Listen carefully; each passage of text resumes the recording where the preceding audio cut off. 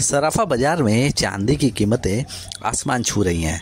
आसमान छू रही चांदी की कीमतों का असर अब 400 साल पुराने गुलाबी मीनाकारी के कारीगरों पर देखने को मिल रहा है। हाल ये है कि ऑर्डर के बाद भी माल डंप पड़े हैं और लोग फ़िलहाल चांदी के भाव के गिरने का इंतज़ार कर रहे हैं। कारीगरों का मानना है कि शुरुआत में ऑर्डर तो मिले, लेकिन अब माल की सप्लाई ठप हो गई है।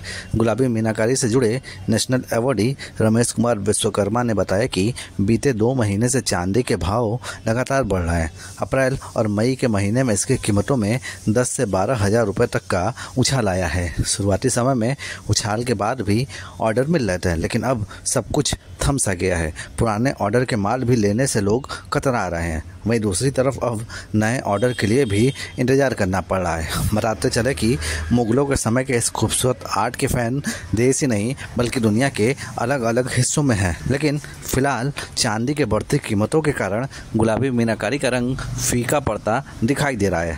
जी, जब से आज 40-45 दिन से जब से चांदी के भाव बढ़ना शुरू हुए तो ऑर्डर तो मेरे पास बहुत थे कस्टमर के आज भी कस्टमर के पास जो ऑर्डर हैं हमारे पास लगे हुए लेकिन कस्टमर पेमेंट इसलिए नहीं कर पा रहा है इस समय कि चांदी की जो कीमत बढ़ गई इतनी ज़्यादा और स्थिर न होने के कारण आज बहुत असर पड़ा। कितना प्रभावित हुआ होगा लगभग आप लोगों का जी इस समय तो साठ परसेंट कस्टमर को पेमेंट करना ही नहीं चाह रहा है सिर्फ़ ऑर्डर दे करके रुका हुआ है।